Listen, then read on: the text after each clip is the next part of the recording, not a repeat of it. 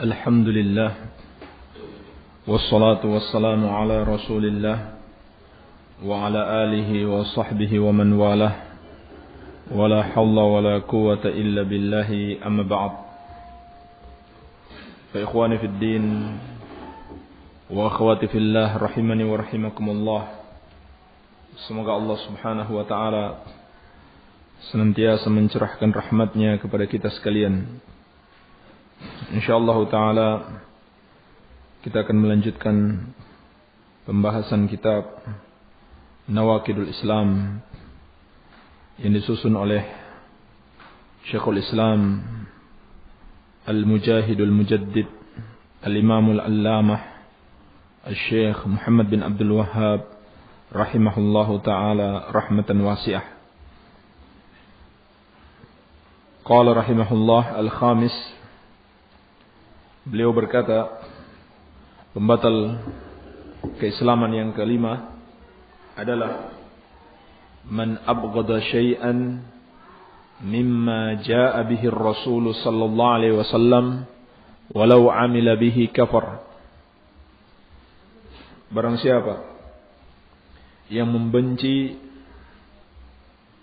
satu ajaran yang dibawa oleh Nabi sallallahu alaihi wasallam meskipun dia mengamalkannya maka dia telah kafir maka dia telah kafir siapa yang membenci satu pun atau sedikit pun ajaran Nabi sallallahu alaihi wasallam atau ajaran Islam baik dari Al-Quran maupun dari As-Sunnah, maka dia kafir. Apakah dia mengamalkannya atau tidak sama saja. Hukumnya adalah kafir. Dan ini juga berdasarkan ijma ulama, sepakat ulama. Sebagaimana yang dinukil oleh Al-Mardawi dalam Al-Insaf dari Syekhul Islam Ibn Taimiyah rahimahullah Al-Insaf juz ke-10 halaman 383. Dalam kitab Al-Insaf juz ke-10 halaman 383. Baik. Inilah pembatal keislaman yang kelima. Yaitu apabila ada dalam diri seseorang kebencian terhadap syariat Allah Subhanahu wa taala maka kafirlah dia.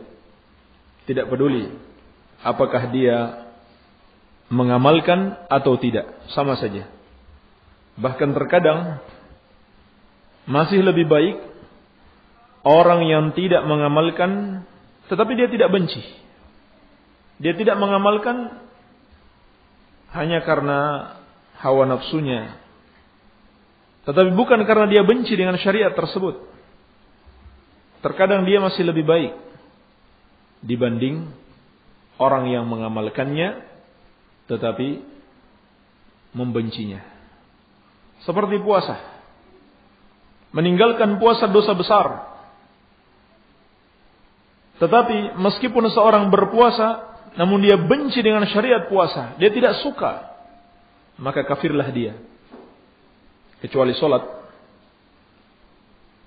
Pendapat yang kuat orang yang meninggalkannya apakah atas dasar dia benci atau hanya karena malas sama-sama kafir. Sama-sama hukumnya adalah kekufuran. Dan bahkan telah dinukil dan dianggap sebagai kesepakatan para sahabat radhiyallahu taala anhum ajma'in sekedar meninggalkan salat adalah kekufuran. Seperti yang dikatakan tabi'in yang mulia Abdullah bin Syaqiq rahimahullahu taala.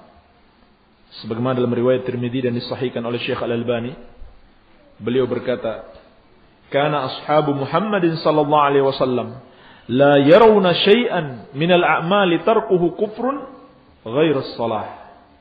Dahulu para sahabat Nabi sallallahu alaihi wasallam tidak menganggap ada suatu amalan yang apabila ditinggalkan menyebabkan kekafiran kecuali solat. Artinya kalau seorang meninggalkan puasa zakat, haji bukan karena benci, bukan karena menentang, maka tidak sampai pada derajat kekufuran. Tapi kalau dia meninggalkan solat, apakah dia benci atau tidak? Sama. Keduanya adalah kekufuran. Hanya saja kalau dia benci, ulama belakangan kalau dia benci, maka ulama sepakat. Kalau dia menentang, meninggalkan solat karena menentang, ulama sepakat. Dia kafir. Tapi kalau tidak, hanya karena malas, itu masih ada khilaf para ulama. Baik. Adapun dalil yang menunjukkan kafirnya orang yang membenci syariat Allah di antaranya adalah surat Al-Mu'minun ayat ke-70. Allah Subhanahu wa taala menyebutkan di antara bentuk kekafiran kaum musyrikin am yakuluna bihi jinnah bal ja'ahumul haqq wa aktsaruhum lil haqqi karihun. Apakah mereka mengatakan bahwa Rasulullah sallallahu alaihi wasallam memiliki penyakit gila? Ini tuduhan kaum musyrikin terhadap Nabi sallallahu alaihi wasallam. Bahkan telah datang kepada mereka al-haq akan tetapi kebanyakan mereka membenci al-haq tersebut. Demikian pula dalam surat Muhammad ayat ke-9. Allah Subhanahu wa taala menyatakan, "Dzalika bi annahum karihu ma anzalallah fa ahbata a'malahum." Yang demikian itu mereka kafir dikarenakan mereka membenci apa yang Allah turunkan, maka Allah Subhanahu wa taala menghapuskan amalan-amalan mereka. Ini jelas. Terhapusnya amalan karena melakukan kekafiran. Dan Allah hapuskan amalan mereka dikarenakan membenci syariat Allah Subhanahu wa taala. Apa yang Allah turunkan? Apa yang Allah turunkan? Seluruhnya. Seluruh bagian syariat diturunkan dari Allah Subhanahu wa taala. Apakah yang ada dalam Al-Qur'annya ataukah yang ada dalam sunnah nabinya. Jadi kadang kita mungkin belum mampu karena kelemahan iman kita, karena hawa nafsu kita, sehingga kita tidak mengamalkan sebagian dari syariat Allah. Tetapi jangan pernah kita membenci syariat tersebut. Walaupun mungkin dianggap sebagai sesuatu yang sepele. Walaupun tidak ada bagian syariat yang sepele. Tetapi lebih rendah derajatnya dibanding yang lainnya. Tapi tidak boleh kita benci sekecil apa pun sunnah itu nggak boleh ada kebencian dalam hati kita. Iya. Dan ulama merinci kebencian itu ada dua bentuk. Ada kebencian yang sifatnya tabi'i dan ada sifatnya syar'i. Ada yang sifatnya syar'i. Adapun yang dikafirkan adalah apabila membenci secara syar'i yakni membenci ketetapan Allah, membenci syariat Allah Subhanahu wa taala ini yang dikafirkan. Sedangkan kebencian secara tabi'i yakni sifat dasar manusia yang Allah ciptakan tabiatnya memang membenci perkara tersebut, maka ini tidak dikafirkan. Bahkan dia adalah sesuatu yang mubah saja. Seperti dalam firman Allah, "Kutiba alaikumul qital wa huwa kurhul lakum." telah diwajibkan atas kalian berperang dan berperang itu dibenci oleh kalian. Apa yang dibenci? Apakah syariat berperang atau berperang itu sendiri? Berperang, bukan syariat berperang. Maka ini sesuatu yang merupakan sifat dasar manusia. Allah ciptakan memang nggak suka berperang. Ini sifat manusia. Beda dengan setan. Diciptakan memang senangnya ribut. Maka sangat mengherankan kalau ada orang yang senang ribut. Sudah keluar dari tabiat yang sebenarnya. Ulama menjelaskan makna ayat ini. Manusia diciptakan, tabiatnya tidak suka perang. Tidak senang ribut. Tidak suka berselisih. Sehingga yang suka berselisih, suka perang, suka ribut. Itu sudah keluar dari tabiat kebaikan manusia. Maka tidak dikafirkan. Kecuali kalau kebenciannya terhadap perang membawa dia tidak mau ikut perang. Padahal ketika perang itu sudah diwajibkan, maka ini dosa. Tapi kalau dia benci syariat, syariat jihad, syariat peperangan, ini bukan sekedar dosa biasa. Ini adalah kekufuran. Jadi dibedakan ya. Baik. Bagaimana dengan wanita yang membenci poligami? Kafir atau tidak? Hah? Dirinci sesuai dengan rincian ini. Kalau dia benci syariat poligami, kafirlah dia. Ya. Kafirlah dia. Tapi kalau dia benci hanya karena tabiatnya yang tidak senang dipersekutukan, senangnya ditauhidkan saja. Ya. Kalau dia benci hanya karena itu, atas dasar sifat cemburunya wanita, maka tidak dikafirkan. Tetapi kalau kebenciannya itu membawanya melakukan yang haram, maka haram. Contohnya apa? Dia halang-halangi suaminya mau poligami. Ya. Selalu dihalang-halangi. Ini haram hukumnya, menghalangi kebaikan-kebaikan. Iya. Jadi tidak dikafirkan. Kecuali dia membenci syariat poligami wal iyadu billah. Baik.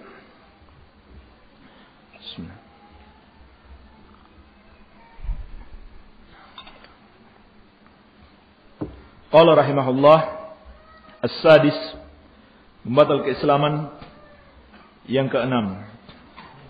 Man istahza'a Bisyai'in min dinir rasul Sallallahu alaihi wasallam Au thawabillahi Au iqabihi kafar.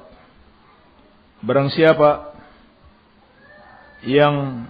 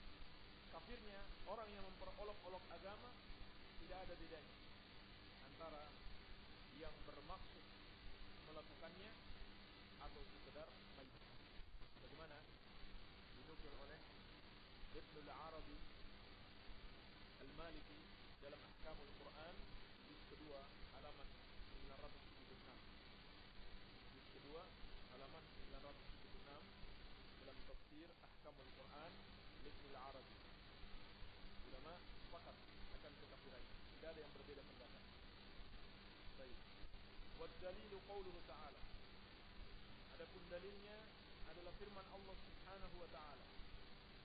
Qul adillahi wa ayatihi wa rasulihi kuntum tastahzi'un la ta'tadiru qad kafartum ba'da imanikum. Katakanlah, apakah dengan Allah dan dengan ayat-ayatnya dan dengan rasulnya kalian memperolok-olok? La ta'tadiru tidak perlu kalian mencari-cari alasan. Qad kafartum ba'da imanikum sungguh kalian telah kafir setelah keimanan kalian. At-Taubah ayat 65 sampai 66. Tentang ayat ini sebutkan para ulama mufassirin sebab turunnya adalah sekelompok orang dan mereka adalah muslimun memperolok-olok Rasulullah sallallahu alaihi wasallam dan para sahabat. Mereka mengatakan ma ra'aina قول قرائنا هؤلاء أكذب ألسنته وأرغب بطونا وأجبن عند اللقاء kami tidak melihat seperti para pembaca Al-Quran kita ini yang lebih dusta lisannya lebih rakus perutnya dan lebih pengecut ketika bertemu demikian penghinaan dan olok-olok yang mereka ucapkan.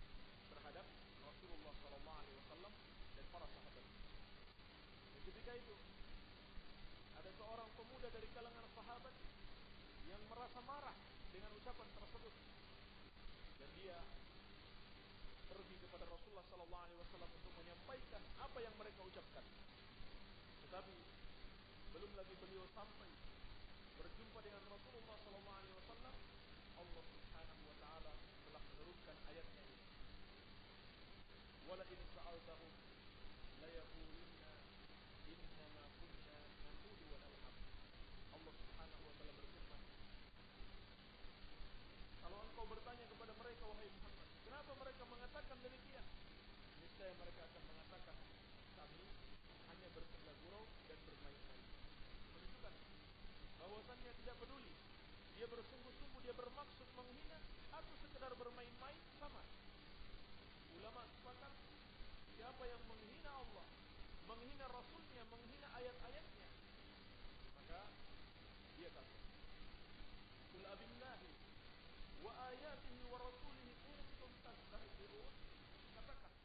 apakah dengan Allah dan dengan ayat-ayatnya dan dengan rasulnya kalian memperolok-olok? La ta'tadiru qad kafartum ba'da imanikum. Tidak usah kalian mencari-cari alasan karena kalian telah kafir setelah keimanan kalian. Jelas sekali. Bahaya yang sangat besar siapa yang memperolok-olok satu bagian dari ajaran agama ini. Bagaimana bentuknya memperolok-olok? Ulama menjelaskan terkadang bentuk yang sharih, tegas, tidak bisa ditafsirkan lain. Memang maksudnya mau menghina Islam, menghina Allah atau menghina Rasulnya. Ataupun terkadang dalam bentuk ghairu sharih, tidak tegas, seperti dengan kedipan mata, dengan isyarat-isyarat yang menunjukkan perendahan terhadap agama yang mulia ini. Syekh Al-Utsaimin rahimahullahu taala menyebutkan antara bentuk istihza adalah orang yang menghina salat walaupun salat sunnah, yang menghina zakat, yang mempermainkan puasa, yang memperolok-olok haji, maka dia kafir dengan kesepakatan kaum muslimin. Demikian pula kata beliau, orang yang memperolok ayat-ayat Allah kauniyah seperti orang yang mengatakan sesungguhnya keberadaan panas di musim dingin adalah kebodohan. Padahal dia tahu itu ciptaan Allah. Maka ini juga adalah kekafiran kata beliau rahimahullah taala. Sebab semua ciptaan Allah demikian pula semua perbuatan-perbuatan Allah dan alal hikmah dibangun di atas dasar hikmah Allah Subhanahu wa taala. Demikian pula kata An-Nawawi rahimahullahu taala termasuk bentuk memperolok-olok seorang yang minum khamar misalkan dia ucapkan bismillah. Ya maksud apa? Untuk merendahkan syariat. Atau orang yang berzina membaca bismillah Allah menjemputkan syaitan. Padahal dia sendiri syaitan Ini termasuk kata beliau bagaimana dalam Raudatul Talibin. Kalau dia bermasuk istighfafan Bismillah Azza wa Jalla maka ini termasuk memperolok-olok. Yang seharusnya dia lakukan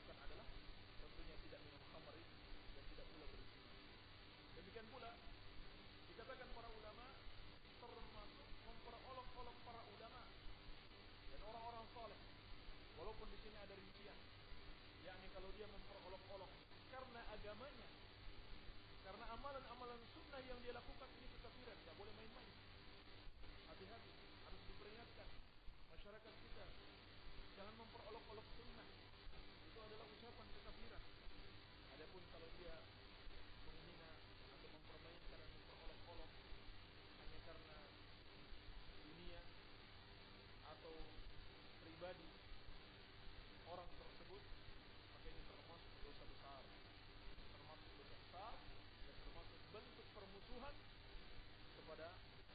wali-wali Allah Subhanahu wa taala dan Allah telah mengingatkan man ada li waliyan faqad azantuhu bil harb bagaimana hadis qudsi Allah Subhanahu wa taala berfirman barang siapa yang memusuhi waliku niscaya aku umumkan perang terhadapnya. Iya. Ini pembatal keislaman yang keenam. Qala rahimahullah as-sabi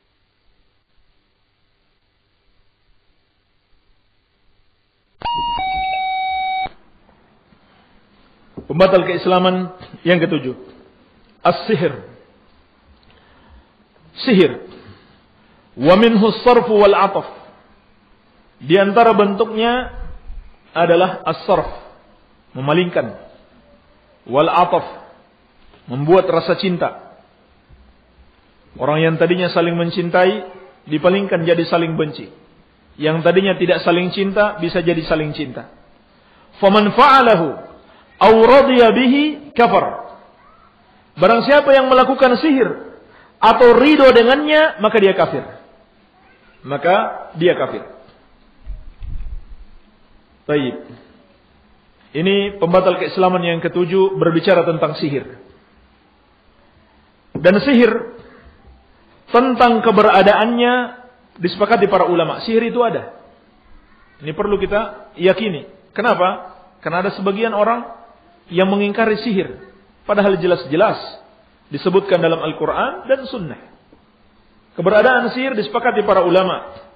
Sebagaimana yang dinukil oleh Al-Qarafi di dalam Al-Furuq juz keempat halaman 149. Demikian pula Al-Wazir Ibnu Hubairah di dalam Al-Ifsah juz kedua halaman 226. Ini tentang wujudus sihir. Keberadaan sihir. Adapun aklaniyun minal mu'tazilah wa ghairihim mereka mengingkari keberadaan sihir. Iya. Sampai hari ini masih ada orang-orang yang tidak percaya sihir itu ada. Baik. Padahal ulama sepakat sihir itu benar-benar ada. Beliau mengatakan sihir termasuk kekafiran. Dalilnya apa? Wad dalilu qauluhu ta'ala. Dalilnya adalah firman Allah Subhanahu wa taala, "Wa ma yu'allimani min ahadin hatta yaqula innama nahnu fitnatun fala takfur." Dalam surat Al-Baqarah ayat ke-102. Dan mereka berdua, yakni Harut dan Marut, dua malaikat Tidaklah mengajarkan kepada seorang pun sihir itu. Sampai mereka berdua mengatakan, kami ini hanyalah ujian bagimu. Maka janganlah kamu kafir. Janganlah kamu kafir, maksudnya jangan kamu mempelajari sihir. Ulama mufassirin menjelaskan, ayat ini berbicara tentang dua malaikat Harut dan Marut. Allah turunkan ke muka bumi sengaja untuk menguji manusia dengan ilmu sihir yang akan mereka ajarkan. Siapa yang belajar maka dia kafir, siapa yang tidak belajar maka dia beriman. Maka mereka mengatakan fala takfur, jangan kamu kafir, maksudnya jangan pelajari sihir. Jangan pelajari sihir. Baik. Demikian pula masih dalam ayat yang sama Allah Subhanahu wa taala berfirman, "Wa ma kafara Sulaiman walakinna asyayatin kafaru yu'allimuna nasa sihir. Dan tidaklah Nabi Sulaiman itu kafir. Tetapi yang kafir adalah setan-setan yang mengajarkan sihir kepada manusia. Ini ayat menjelaskan di antara bentuk kekafiran syaitan adalah mengajarkan sihir kepada manusia. Demikian pula firman Allah, "Wala yuflihu sahiru haitsu ata."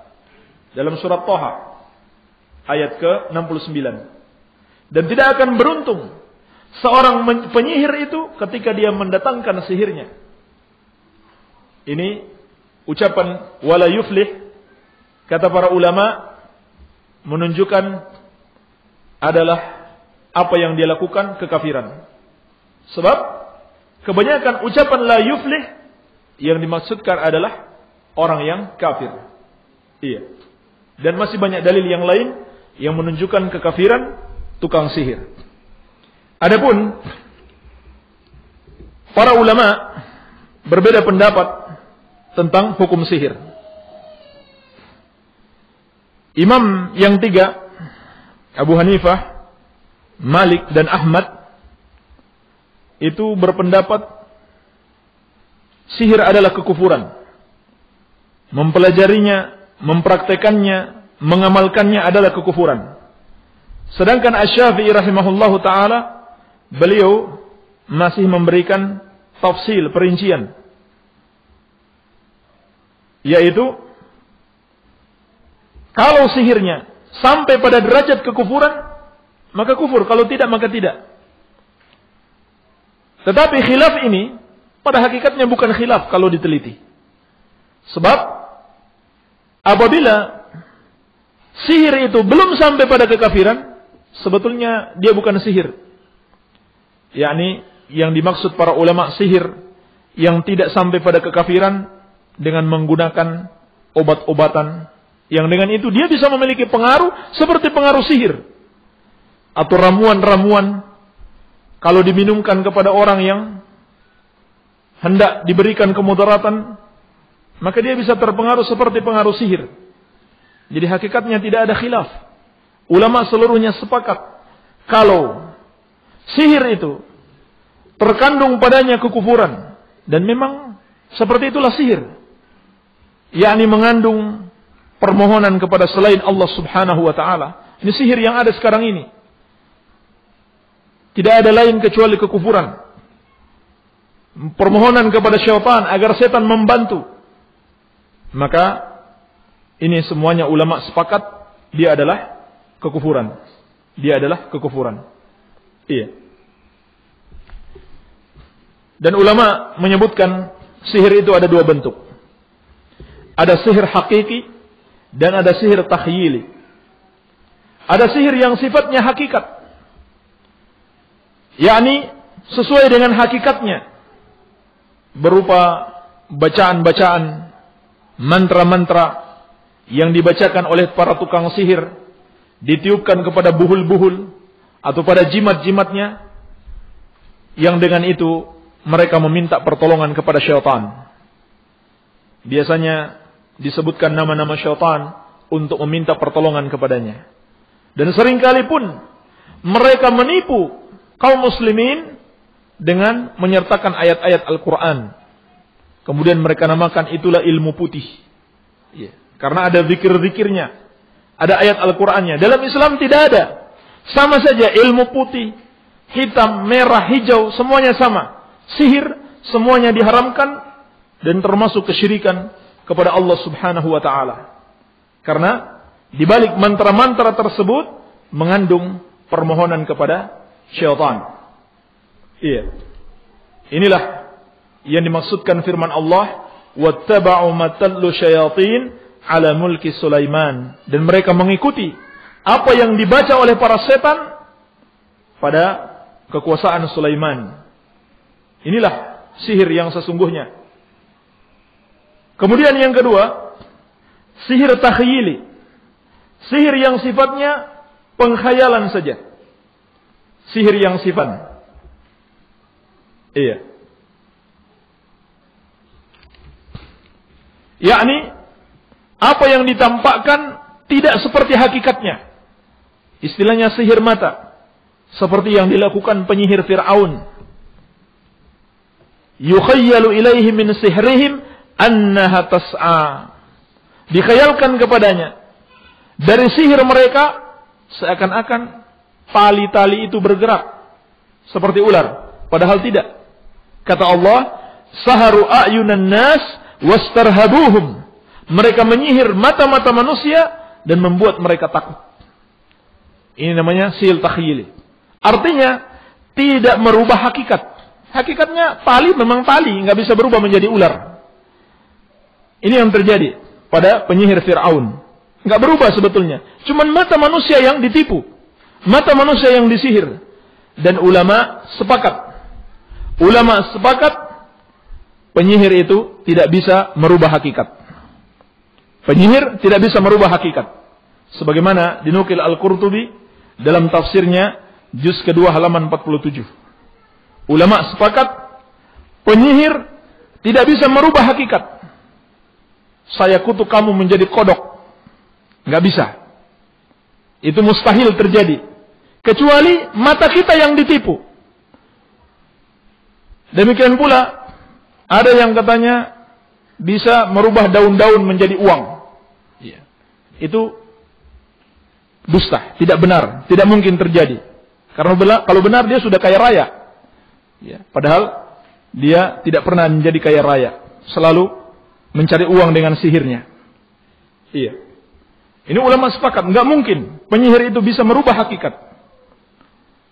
Sehingga pernah terjadi sebagaimana diceritakan Al Imam Bukhari diriwayatkan dalam tarikh beliau dari Abu Uthman Al-Hindi.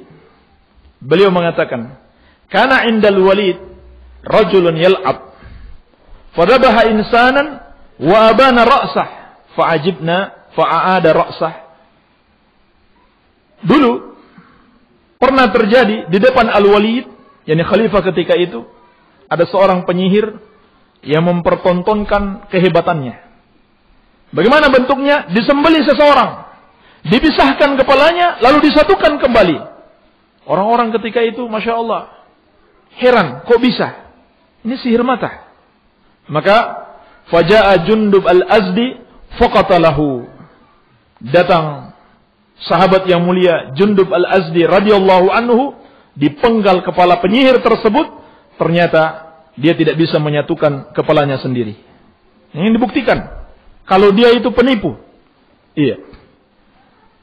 Maka ini bentuk-bentuk sihir jangan kita tertipu dengannya. Baik. Kemudian tentang hukuman bagi tukang sihir. Tentang hukuman bagi tukang sihir. Ini ada pembicaraan di sebagian kalangan tentang hukuman apa yang patut bagi para tukang sihir.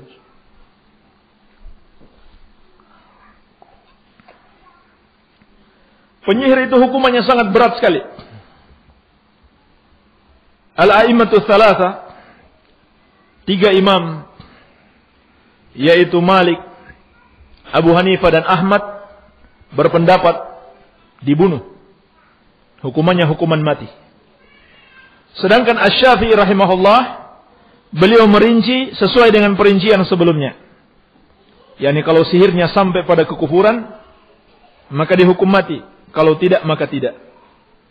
Dan yang sahih adalah pendapat yang pertama. Segala bentuk sihirnya hukumannya adalah hukuman mati. Berdasarkan hadis yang marfu dari Jundub radhiyallahu anhu, haddus sahir darbatun bisaif. Hukuman penyihir adalah dipenggal kepalanya.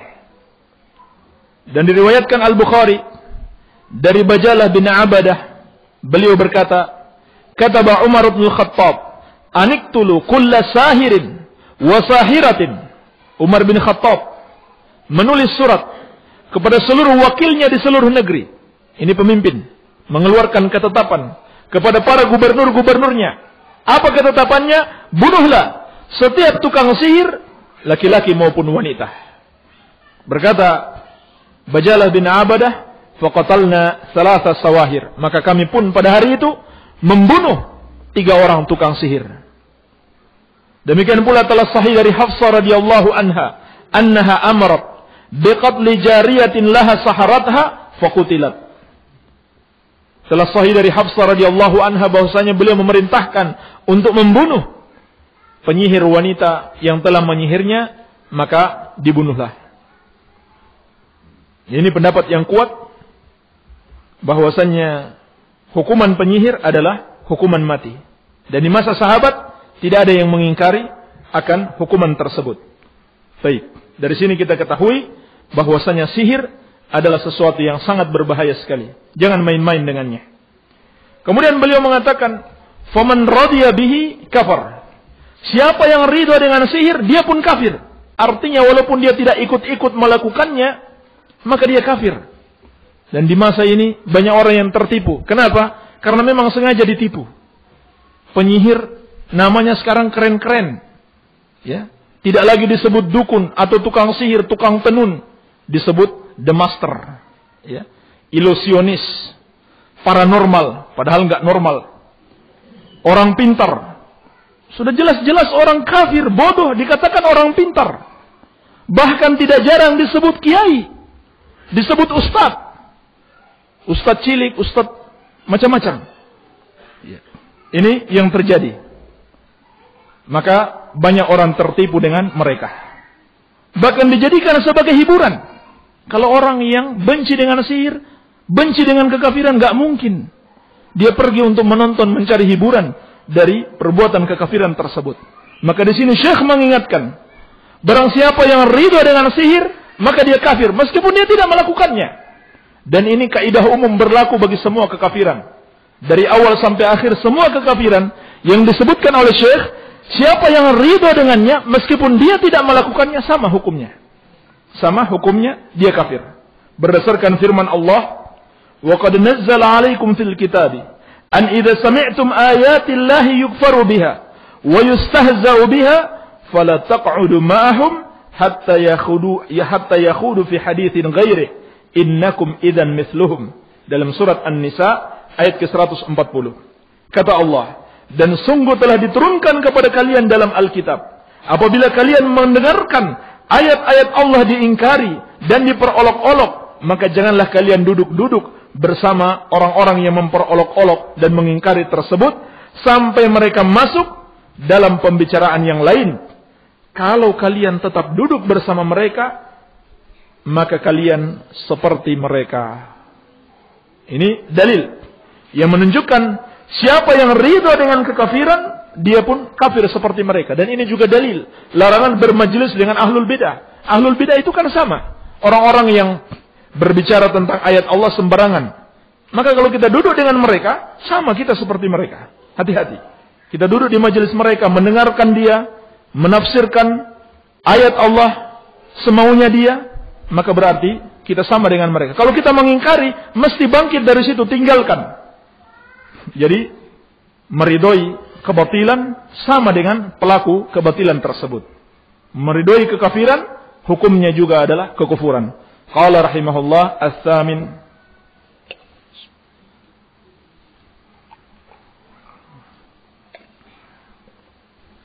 Pembatal keislaman yang kedelapan. Mudhaharatul musyrikin. Wa muawanatuhum alal muslimin.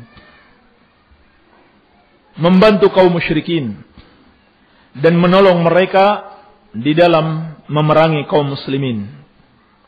Ini masuk pada bab al-wala wal bara. Tentang kecintaan dan kebencian seorang muslim. Seorang muslim tidak saja dituntut untuk mencintai Allah, tetapi dia juga dituntut mencintai apa yang Allah cintai. Demikian pula dia saja tidak saja dituntut untuk membenci kekafiran, tetapi dia juga harus membenci orang-orang yang melakukan kekafiran. Dia cinta apa yang Allah cintai dan dia benci apa yang Allah Subhanahu wa taala benci. Ini harus ada dalam diri seorang mukmin. Maka Ketika dia mencintai apa yang Allah cintai, dialah orang yang beriman. Tetapi kalau dia mencintai apa yang Allah benci, hal ini dapat mengantarkannya kepada kekafiran.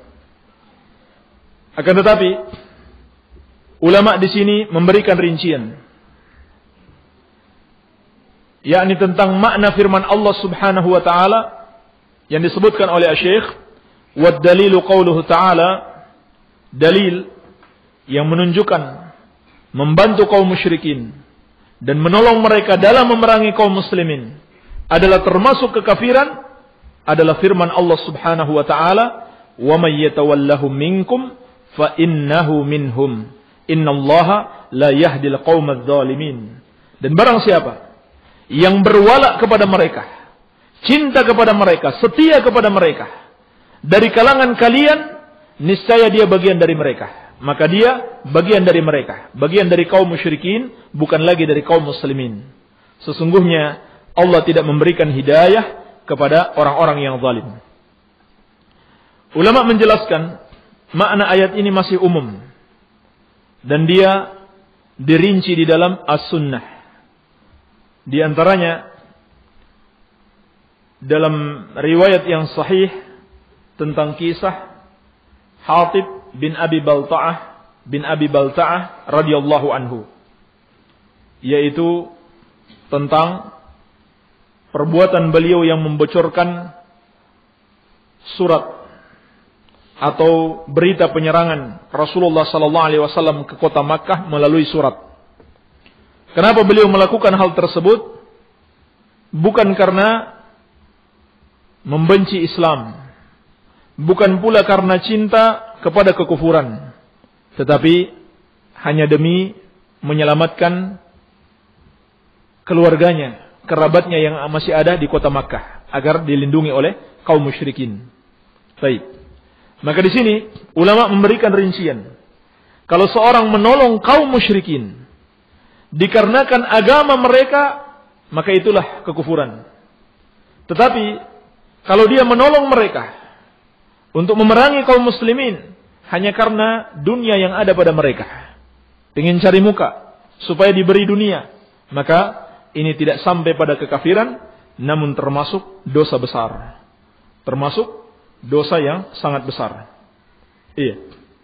Maka kekafiran di sini apabila seorang mencintai seorang kafir karena apa? Karena kekafiran yang dia lakukan. Tetapi kalau dia mencintainya hanya karena dia jago main sepak bola misalkan atau selalu menang balapan ya. Ini bagaimana? Boleh enggak senang sama pemain-pemain bola. Tidak dibenarkan ini. Ini termasuk dosa besar. Ya, termasuk dosa besar. Walaupun tidak sampai pada derajat kekafiran. Tapi kalau dia senang karena agamanya, maka adalah kekafiran. Iya. Dan seharusnya seorang muslim itu memiliki bara'ah, berlepas diri dari kaum musyrikin. Dan bara'ah itu terpenuhi atau terrealisasikan dengan empat perkara. Yang pertama, kebencian di dalam hati. Dan dia merupakan asal. Yang kedua, al-mu'adah, permusuhan. Mesti ada sikap memusuhi. Bukan malah menampakkan senang. Ya seperti yang terjadi pada diri orang-orang yang tidak memahami agama. Asal dia pintar main sepak bola, senang kepadanya. Apalagi senangnya karena sesuatu yang merupakan maksiat. Kenapa? Lagu-lagunya enak. Ya. Musiknya bagus. Sudah maksiat pula. Cinta lagi kepada orang kafir. Ini yang terjadi pada sebagian kaum muslimin.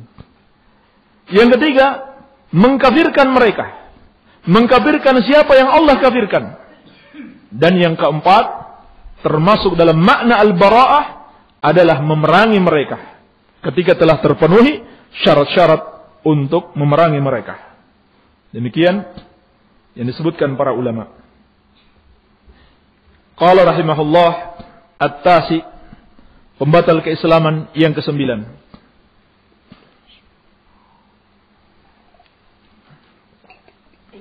Man i'taqada anna ba'dan nas yasa'ahu al-khuruj an syariati Muhammadin sallallahu alaihi wasallam kama wasi al-Khadr al-khuruj an syariati Musa alaihi salam fahuwa kafir.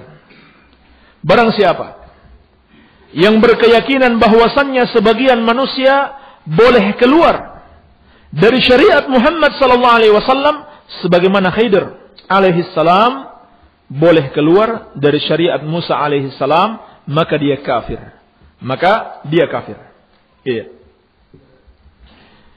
Kenapa dia kafir? Karena ketika dia memiliki keyakinan demikian, berarti dia mengingkari Al-Quran. Dan dia mengingkari kerasulan Nabi Muhammad sallallahu alaihi wasallam kepada seluruh umat manusia. Syekhul Islam Ibn Taimiyah rahimahullahu taala telah menukil ijma seluruh ulama bahwasannya Nabi kita yang mulia Nabi Muhammad sallallahu alaihi wasallam diutus untuk seluruh umat manusia. Demikian pula jin. Sebagaimana dalam Al-Furqan baina awliya'ir rahman wa awliya'i syaitan. Demikian pula telah dinukil oleh beliau kesepakatan para ulama akan kafirnya orang yang mengingkari pengutusan Nabi sallallahu alaihi wasallam kepada seluruh umat. Sebagaimana dalam Majmu' Al-Fatawah juz ke-10 halaman 435. Demikian pula dalam Al-Fath Fathul Bari juz pertama halaman 292. Dinukil dari Abu Abbas Al-Qurtubi. Ulama sepakat siapa yang mengingkari pengutusan Rasulullah sallallahu alaihi wasallam kepada seluruh umat, maka dia kafir. Dan inilah hakikatnya. Keyakinan seperti ini. Ada sebagian orang yang memiliki keyakinan bahwasannya mursidnya dia, gurunya dia, karena melakukan amalan-amalan tertentu, zikir-zikir khusus yang mereka ciptakan, sampailah dia pada derajat hakikat. Meninggalkan syariat. Ini akidah kaum sufi. Mereka membagi agama itu menjadi syariat dan hakikat. Kalau seorang melakukan amalan-amalan tertentu yang mereka ciptakan, dia akan sampai pada derajat hakikat sehingga dia tidak perlu lagi dengan syariat. Dia boleh keluar dari syariat Rasulullah sallallahu alaihi wasallam. Iya. Maka adalah kekufuran dengan kesepakatan para ulama. Sebab Rasulullah sallallahu alaihi wasallam diutus untuk seluruh umat tanpa pengecualian. Sebagaimana firman Allah, "Wa arsalnaka illa rahmatan lil alamin."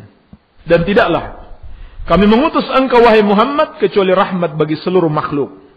Wa arsalnaka illa kafatan linnas basyiran wa nadhira.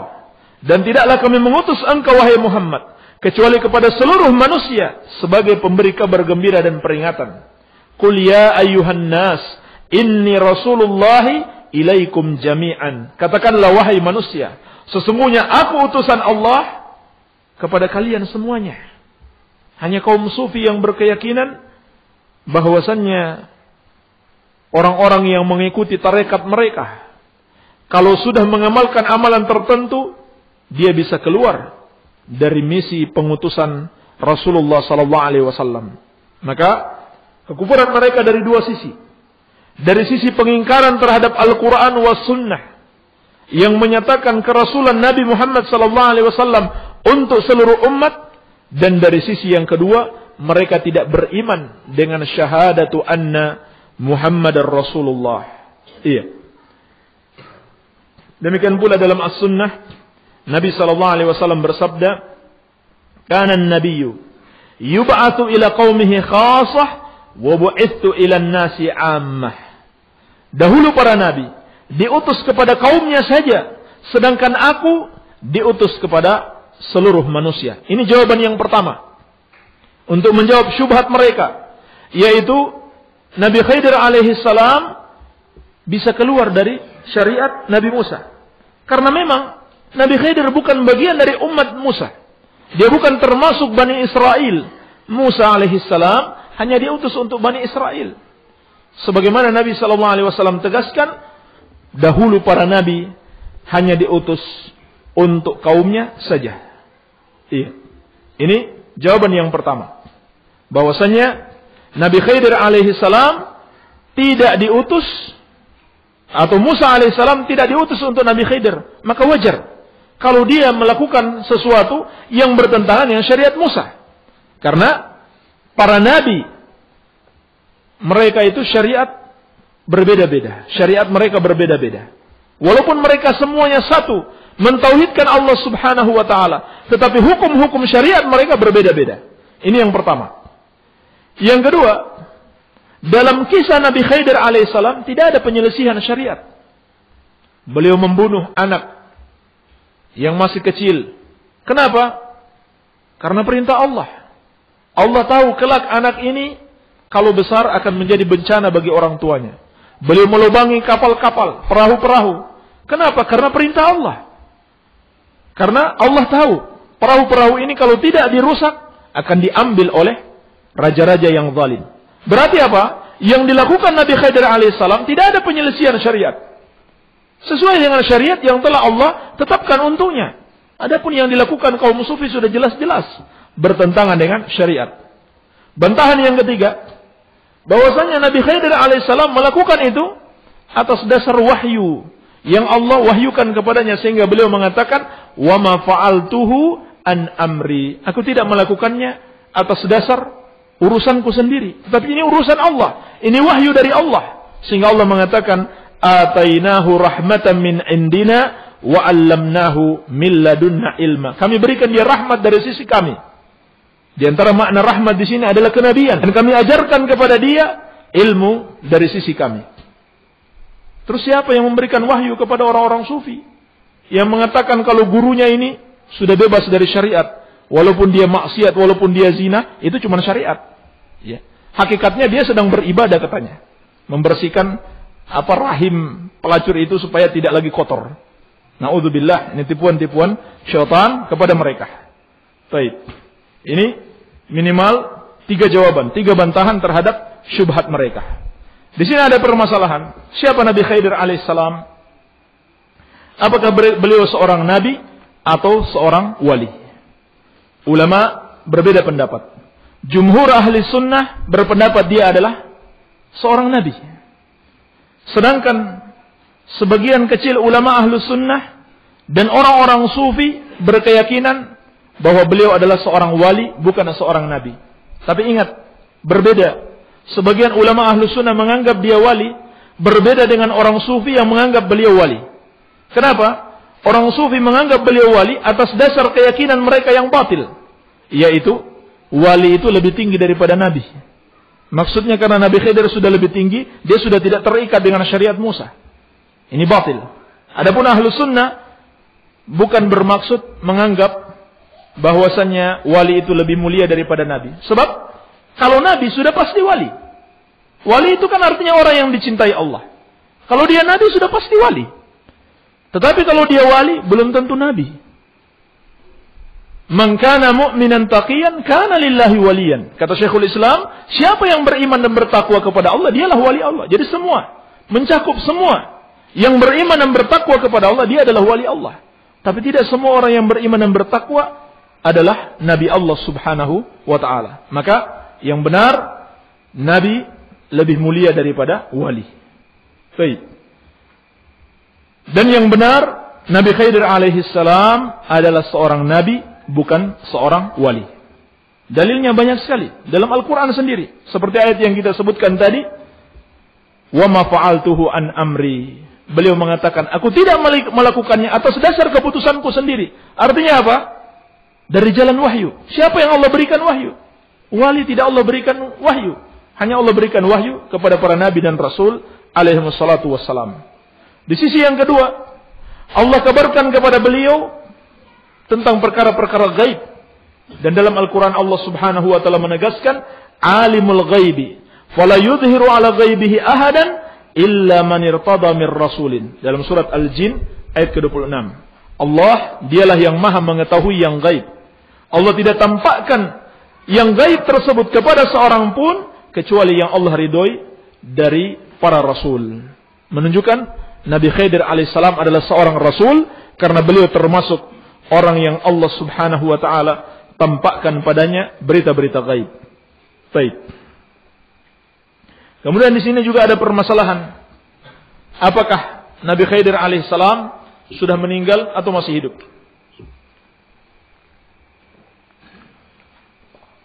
Ada yang pernah berjumpa Nabi Khidir di Medan? Iya. Ada sebagian orang yang meriwayatkan berjumpa dengan Nabi Khidir. Ulama berbeda pendapat. Dia masih hidup atau sudah meninggal dunia. Yang sahih, beliau sudah meninggal dunia. Berdasarkan firman Allah Subhanahu wa taala, "Wa ma ja'alna li basharin min qablikal khuld Afa imitta. Dalam surat Al-Anbiya ayat ke-34. Dan kami tidak menjadikan bagi seorang manusia sebelummu kekekalan. Apakah kalau engkau mati lalu mereka bisa kekal, artinya kalau ada yang kekal, Rasulullah sallallahu alaihi wasallam yang lebih pantas untuk kekal karena beliau adalah nabi yang paling mulia. Ini dalil yang pertama. Walaupun dalil ini tidak terlalu sharih, tidak terlalu tegas. Iya. Mungkin saja orang bisa mengatakan, ya mungkin dia nggak kekal, tapi kan belum mati sekarang. Baik. Ada dalil yang lebih tegas, yaitu hadis Bukhari dan Muslim. Rasulullah sallallahu alaihi wasallam bersabda, "Ara'aitum lailatakum hadhihi fa innahu ala ra'si mi'ati sanatin la yabqa ala wajhil ardi mimman huwa alaihi al-yawm ahadun. Kata Rasulullah sallallahu alaihi wasallam, ketahuilah malam kalian ini sesungguhnya 100 tahun ke depan sejak malam ini tidak akan ada tersisa berada di muka bumi ini seorang pun. Artinya semuanya akan mati. Setelah 100 tahun Nabi sallallahu alaihi wasallam mengucapkan demikian. Maka sudah berlalu lebih dari 100 tahun, tentunya andaikan Nabi Khidir alaihissalam hidup di masa itu, beliau sudah meninggal dunia. Di sisi lain kata para ulama, kalau beliau hidup, nggak mungkin beliau tidak datang kepada Rasulullah sallallahu alaihi wasallam dan menyatakan beriman kepadanya. Demikian pula tidak membantu perjuangan Rasulullah sallallahu alaihi wasallam. Jadi yang sahih beliau telah meninggal dunia. Qala rahimahullah al-ashir.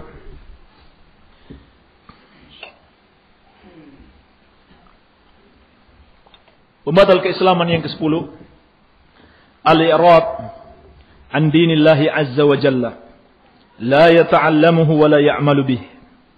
Berpaling dari agama Allah Subhanahu wa taala. Bentuk berpalingnya adalah tidak mau mempelajarinya dan tidak mau mengamalkannya ulama menjelaskan maksud pembatal keislaman yang ke-10 ini adalah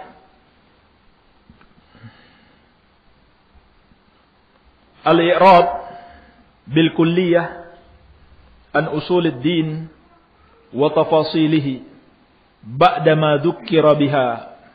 Berpaling secara menyeluruh dari pokok-pokok agama dan rincian-rinciannya setelah diingatkan dengannya setelah disampaikan diingatkan diajarkan padanya dia berpaling bagaimana bentuk berpalingnya kalau berpalingnya karena benci, ini sudah kita bahas pada pembatal keislaman yang kelima. Tetapi di sini bukan karena dia benci. Bukan karena dia benci. Dia tidak benci, tapi juga tidak cinta. Tidak mendustakan, tidak pula membenarkan. Tidak memusuhi, tidak pula membela. Artinya apa? Cuek-cuek saja. Tidak peduli. Nggak peduli, dia nggak mau tahu apa ada Rasul diutus atau tidak. Apa ada pengajaran tauhid atau tidak, dia nggak mau tahu. Ini maksudnya. Tidak mau mempelajari dan tidak mengamalkannya. Iya. Jadi maksudnya di sini bukan sekedar orang yang malas belajar. Dia sebetulnya senang dengan ilmu. Namun kadang-kadang atau bahkan sering malas menuntut ilmu. Maka ini tidak dikafirkan. Selama dia senang kepada ilmu, dia cinta kepada ilmu. Dia tidak membenci agama Allah. Tapi yang dimaksudkan di sini adalah orang yang betul-betul berpaling dari keseluruhan ilmu. Tidak mau mempelajarinya. Setelah dia diingatkan, walaupun dia tidak memusuhi, tapi dia juga tidak tidak dia juga tidak suka.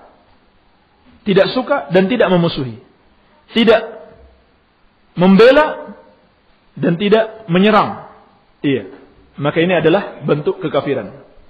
Sebagaimana firman Allah, "Wa man a'rada an dzikri fa inna lahu ma'isyatan donka wa nahsyuruhu yaumal qiyamati a'ma." Dan barang siapa yang berpaling dari peringatanku, maka baginya penghidupan yang sempit dan kami akan bangkitkan dia pada hari kiamat dalam keadaan buta. Demikian pula yang disebutkan oleh Syekh wa dalilu qauluhu ta'ala Dalilnya adalah firman Allah Subhanahu wa taala, "Wa man adlamu mimman dzukkira bi ayati rabbih thumma a'rada anha, inna minal mujrimina muntaqimun." Dan siapakah yang lebih zalim dibandingkan orang-orang yang berpaling atau telah diingatkan kepada mereka ayat-ayat Rabbnya, kemudian mereka berpaling darinya. Sesungguhnya terhadap orang-orang yang mujrim tersebut, yang jahat tersebut, kami akan mengazab mereka. Surat As-Sajdah ayat ke-22. Inilah pembatal keislaman yang terakhir. Kemudian di bagian penutup beliau rahimahullahu taala mengatakan wala farqa fi jami'i hadhihi nawaqid bainal hazil wal jad. Dan tidak ada bedanya pada seluruh pembatal-pembatal keislaman ini antara orang yang bermain-main atau bersungguh-sungguh. Sekedar bercanda atau bermaksud melakukannya. Tidak ada bedanya. Tidak ada bedanya. Ini berdasarkan firman Allah yang tadi kita sebutkan tentang orang-orang yang mencerca ayat-ayat Allah. Ini berlaku bagi semua bentuk kekafiran. Wala in sa'altahum la yakulunna innama kunna nakhudu wa nal'ab. Apabila engkau tanya kepada mereka, kenapa mereka melakukan kekafiran itu? Mereka menjawab, kami hanya bersenda gurau dan bermain-main. Tetapi kata Allah, "Qul abillahi wa ayatihi wa rasulihi kuntum tastahzi'un la ta'tadziru qad kafartum ba'da imanikum." Katakanlah, apakah dengan Allah, dengan ayat-ayatnya dan dengan rasulnya kalian memperolok-olok? Tidak usah kalian mencari-cari alasan, sungguh kalian telah kafir setelah keimanan kalian. Maka tidak ada bedanya. Wal khaif. Demikian pula orang yang takut. Illal mukrah. Kecuali orang yang terpaksa. Maka di sini dibedakan antara orang yang takut dan terpaksa. Orang yang takut belum tentu baru muncul ketakutan dalam hatinya. Takut kepada makhluk, lalu dia kafir kepada Allah, maka dia dihukumi kafir. Beda dengan orang yang terpaksa. Adapun orang yang terpaksa ketika dia mengucapkan ucapan kekafiran, wa qalbuhu mutmainnun bil iman, sedangkan hatinya tetap tenang dalam keimanan, maka ulama sepakat dia tidak sampai pada kekafiran. Seperti disebutkan Ibnu Katsir dalam tafsir beliau juz ke-10 halaman 182 uh, eh, afwan juz kedua halaman 540. Tafsir Ibnu Katsir juz kedua halaman 540, kemudian tafsir Al-Qurtubi juz ke-10 halaman 182. Baik, ini ulama sepakat. Orang yang terpaksa melakukan kekafiran, wa qalbuhu mutmainnun iman, maka dia tidaklah kafir. Maka dia tidaklah kafir. Artinya, kalau hatinya juga ikut kafir dengan zahirnya, maka dia kafir. Maka dia kafir. Dan terpaksa di sini, kategori terpaksa adalah betul-betul terpaksa. Yaitu dia melihat orang yang mengancamnya melakukan kekafiran benar-benar akan merealisasikan ancamannya. Bukan main-main. Dan dia melihat, dia tidak bisa selamat dari ancaman tersebut. Kalau dia bisa lari, dia harus lari. Kalau dia bisa minta tolong kepada orang lain, dia harus minta tolong. Dan dia lihat, dia juga tidak bisa melawan. Kalau yang mengancamnya, orang yang lebih kecil darinya misalkan, ancamnya juga cuma pakai sapu lidi. Kalau kamu tidak kafir, saya pukul dengan sapu ini. Maka bukan seperti itu tentunya ancaman yang dimaksudkan. Tetapi betul-betul ancaman yang dia tidak bisa melakukan apa pun selain menuruti. Maka pada saat seperti itu Allah Subhanahu wa taala berfirman, "Man kafara billahi min ba'di imani illa man ukriha wa qalbuhu mutmainnun bil iman." Ayat ini tentang Ammar bin Yasir radhiyallahu anhu yang dipaksa mengucapkan ucapan-ucapan kekufuran setelah dia ucapkan, dia menyesal, dia takut. Lalu dia datang kepada Rasulullah sallallahu alaihi wasallam dalam keadaan sangat takut, maka turunlah ayat ini. Siapa yang kafir kepada Allah setelah keimanannya kecuali orang yang terpaksa dalam keadaan hatinya tetap tenang di dalam keimanan. Surat An-Nahl ayat ke-106. Jadi di sini ada syarat. Dia melakukan kekafiran hanya dengan lisannya saja, sedangkan hatinya tetap tenang dalam keimanan. Maka semua yang melakukan kekafiran ini tidak ada diberikan uzur kecuali orang yang terpaksa. Baik. Dan dibahas para ulama, manakah yang lebih afdal bagi seseorang ketika dia dipaksa melakukan kekafiran? Apakah dia menuruti paksaan tersebut ataukah dia bersabar walaupun harus mati? Maka keadaannya dirinci. Pertama, kalau dia seorang tokoh, di belakangnya banyak pengikutnya. Kalau dia menuruti ucapan tersebut, akan membahayakan para pengikutnya, membahayakan kaum muslimin. Seperti yang terjadi pada Al-Imam Ahmad rahimahullahu taala. Beliau kalau mau bisa melakukan seperti yang dilakukan para ulama yang lainnya. Mereka umumnya mentakwil ucapan mereka. Seperti Asy-Syafi'i rahimahullahu taala diriwayatkan beliau diuji. Apakah berkeyakinan Al-Qur'an itu makhluk yang merupakan keyakinan kufur? Disepakati para ulama, siapa yang mengatakan Al-Qur'an itu makhluk, maka dia kafir sebab Al-Qur'an kalamullah, bukan makhluk. Maka Asy-Syafi'i ditanya, beliau pun mengatakan sambil menunjuk jarinya, ini Zabur, Taurat, Injil, Al-Quran, semuanya ini makhluk. Semuanya ini makhluk. Yang dimaksudkan oleh beliau adalah apa? Jari-jarinya. Tetapi Imam Ahmad rahimahullah taala tidak mau melakukan yang seperti itu. Kenapa? Karena beliau ketika itu adalah tokoh yang dijadikan pegangan oleh banyak orang. Terkenal kekokohan Imam Ahmad tidak mau menuruti paksaan mengucapkan Al-Quran adalah makhluk. Sampai beliau disiksa. Dengan siksaan yang mestinya beliau sudah mati. Karena siksaan itu begitu berat. Kalau orang kebanyakan mungkin sudah mati. Iya. Tetapi Allah subhanahu wa ta'ala masih menjaga beliau. Beliau bersabar sampai berganti tiga khalifah. Beliau masih di penjara, disiksa. Tapi beliau bersabar. Kenapa? Karena kalau beliau mengatakan Al-Quran itu makhluk, walaupun akan demikian, banyak orang yang akan tersesat. Maka dalam keadaan seperti ini haram baginya untuk menuruti, menuruti ucapan, menuruti paksaan tersebut. Haram hukumnya. Kalau seorang menuruti paksaan tersebut. Dan ini bagian dari jihad fi sabilillah. Baik. Bentuk yang kedua, kalau dia menuruti paksaan itu tidak ada bahaya bagi kaum muslimin. Tidak ada bahaya bagi kaum muslimin. Maka yang lebih afdal baginya menuruti ucapan tersebut tetapi ya ta'awwal. Dia melakukan takwil. Apalagi kalau dia orang yang memberikan manfaat kepada kaum muslimin. Mungkin manfaat dengan ilmunya atau dengan hartanya lebih afdal baginya untuk menuruti paksaan tersebut. Ini pendapat yang dikuatkan oleh Syekh Ibnu Utsaimin rahimahullahu taala. Lebih afdal daripada dia mengucapkan daripada dia bersabar dan dia dia dibunuh, dia mati, lebih baik dia mengucapkan apa yang mereka inginkan tetapi hatinya tetap tenang dalam keimanan. Kalau dia termasuk orang yang memberikan manfaat kepada kaum muslimin. Bahkan hidupnya dia dalam Islam, walau tidak memberikan kemanfaatan kepada kaum muslimin, itu lebih utama daripada kematian. Kalau hidup, berarti akan menambah kebaikan baginya. Ya. Kecuali kalau sudah bosan hidup, lebih baik mati saja. Baik, mati dalam keadaan berjihad di jalan Allah Subhanahu wa taala. Kalau merasa sudah ada nggak ada manfaatnya hidup, lebih baik mati. Baik. Sebab kehidupan ini adalah menambah amal soleh. Maka hidupnya seseorang dalam Islam beramal soleh itu lebih baik daripada kematiannya. Demikian perincian yang disebutkan para ulama.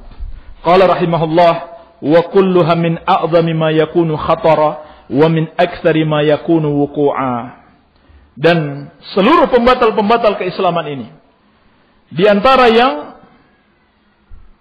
bahayanya paling besar dan paling banyak terjadi Menunjukkan apa? Beliau mengakui bahwa apa yang beliau sebutkan belum semuanya. Cuman ini yang lebih banyak dan paling berbahaya. Fayanbaghi lil muslim ayyahdzaraha wa yakhafa minha ala nafsih.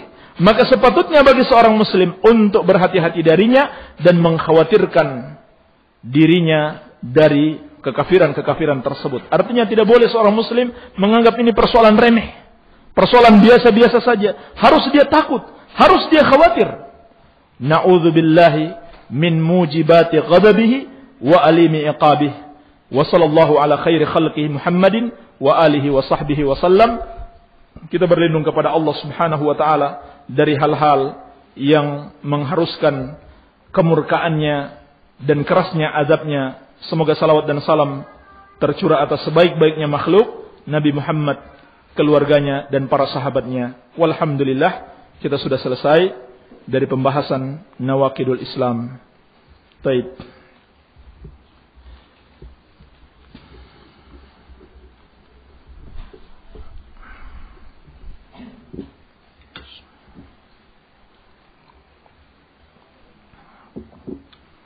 Ada pertanyaan yang tadi? Kalau ada pertanyaan yang baru, simpan aja ya.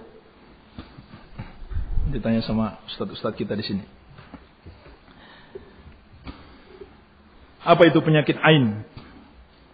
Dan penyebabnya serta gejalanya. Apakah sama dengan sihir? Penyakit ain adalah penyakit yang ma'ruf disebabkan oleh pandangan mata manusia dan dia tidak ada bentuk khusus. Penyakitnya bisa macam-macam. Tidak ada bentuk khusus. Cuman sebabnya saja yang khusus. Yaitu pandangan suka disertai hasad. Pandangan suka disertai hasad. Iya. Pandangan kagum. Masya Allah. Kepada saudaranya. Disertai hasad tanpa mendoakan saudaranya atau tanpa menyebut nama Allah. Ini yang menyebabkan saudaranya yang dipandang itu terkena penyakit ain. Rasulullah sallallahu alaihi wasallam bersabda, "Man ra'a min akhihi syai'an aw min nafsihi aw min malihi ma yu'jibuh falyubarrik alaih." Barang siapa yang melihat sesuatu pada saudaranya atau melihat diri saudaranya atau melihat hartanya yang mengagumkan maka hendaklah dia mendoakan keberkahan. Ini pencegahannya. Ini pencegahannya. Didoakan keberkahan. Dikatakan barakallahu fiik semoga Allah memberikan keberkahan kepadamu ini seharusnya yang kita katakan kalau melihat kelebihan yang ada pada saudara kita karena sesama muslim itu satu tubuh al muslim lil muslim kalibunyan yashuddu ba'duhum ba'dah Seorang muslim dengan muslim yang lainnya bagaikan satu bangunan. Satu dengan yang lainnya saling menguatkan sehingga ketika kita melihat kenikmatan baik kenikmatan duniawi maupun agama dalam diri saudara kita, jangan kita iri. Jangan kita hasad. Malah kita doakan kebaikan untuk saudara kita. Ini pencegahannya. Baik. Jadi soal gejalanya dan lain-lainnya itu sama aja dengan penyakit-penyakit biasa. Bisa jadi sama dengan sihir. Sihir itu kan memunculkan berbagai macam penyakit. Sama saja dengan ain. Mungkin memunculkan berbagai macam penyakit yang semisal dengan sihir. Iya. Hanya sebabnya berbeda. Sebabnya berbeda. Bagaimana pengobatannya? Pengobatannya ada dua. Yang pertama di ruqyah.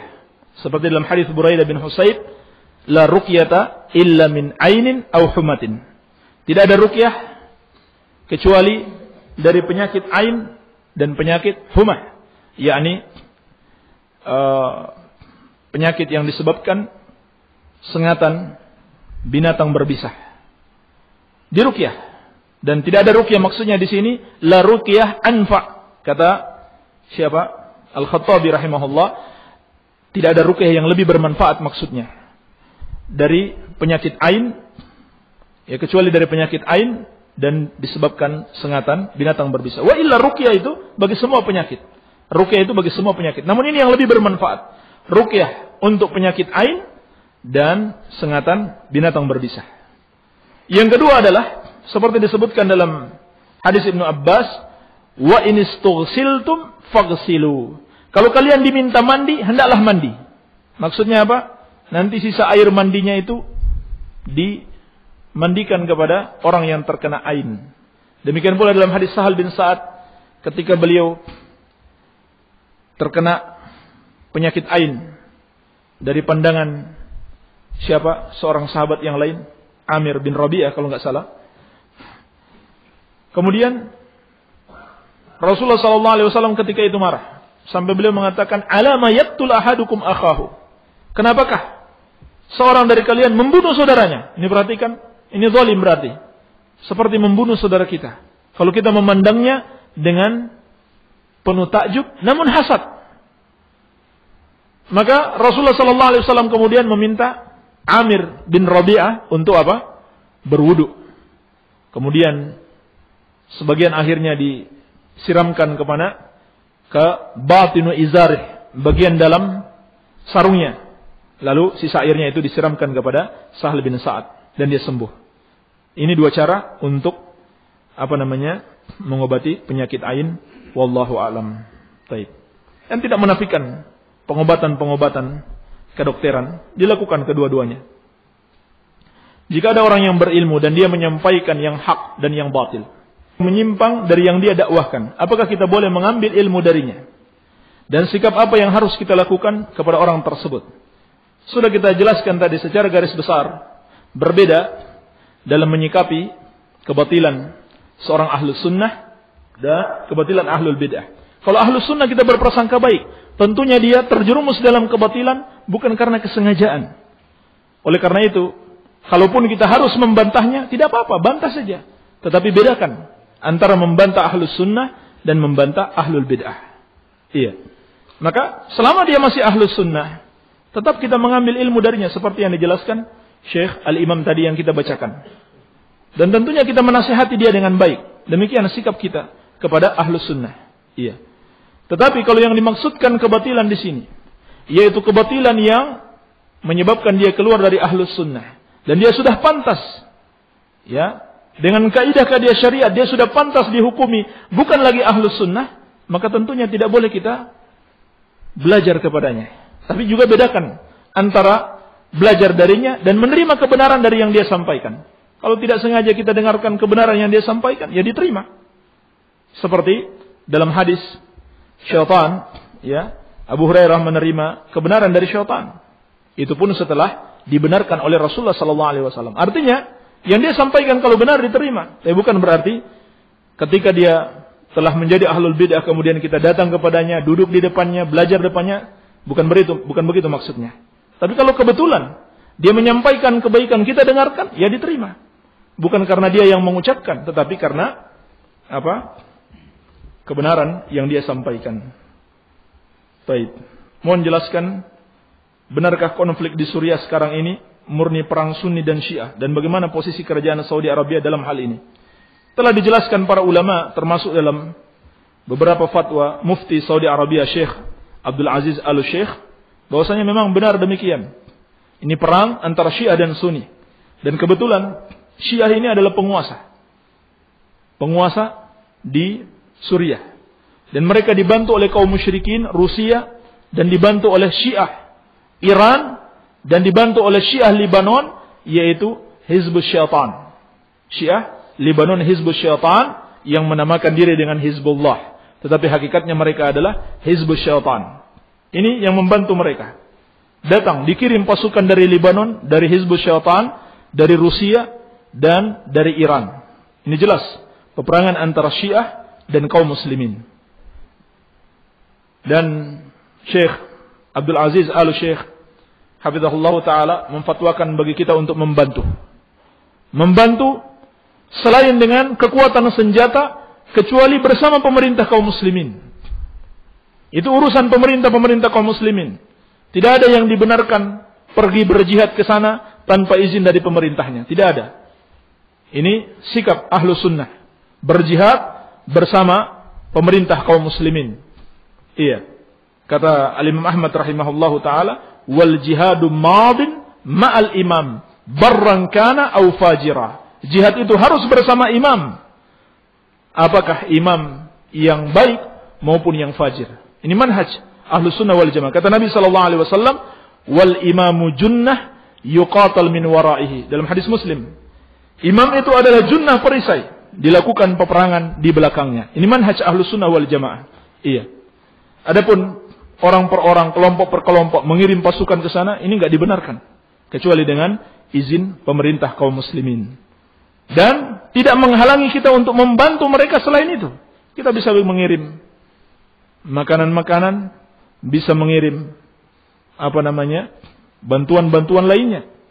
Iya. Yang minimal kita doakan. Adapun Saudi Arabia termasuk negara yang terdepan di dalam melakukan dan menggalang bantuan-bantuan seperti ini. Tidak ada satu negara pun di muka bumi ini yang lebih terdepan di dalam membantu kaum muslimin melebihi Saudi Arabia. Hanya saja bedanya kalau Amerika membantu itu diekspos seluruh dunia. Padahal bantuannya berupa pinjaman, ya, hutang. Tapi kalau Saudi Arabia membantu langsung dibawa ke lokasi atau ke tempat-tempat pengungsian dan tidak digembur-gemburkan seperti yang dilakukan oleh negara-negara kafir. Tidak ada yang melebihi Saudi Arabia. Kalau kita tahu Saudi Arabia itu yang paling terdepan dalam membantu kaum muslimin. Iya. Jika ada orang awam yang bertanya kepada seseorang yang berilmu tentang hukum-hukum Islam, akan tetapi orang yang berilmu tadi menjawab tidak disampaikan dengan dalil dan orang awam tadi percaya saja. Apakah yang seperti ini termasuk orang yang taklid? Ulama mengatakan taklid itu seperti makan babi. Ya. Artinya, kalau seseorang itu terpaksa, baru boleh dia makan. Ini kan kita berbicara tentang orang awam. Yang dia tidak mampu meneliti dalil. Tidak apa-apa disampaikan.